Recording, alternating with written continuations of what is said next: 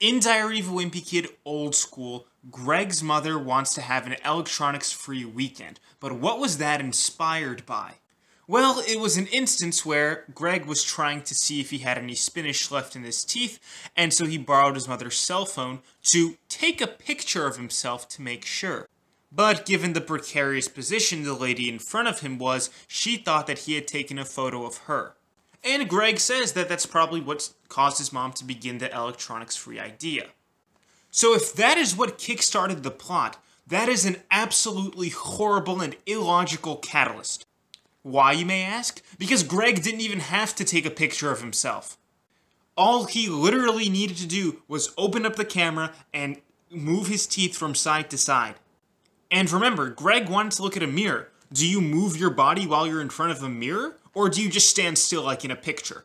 This is probably the worst plot point in Wimpy Kid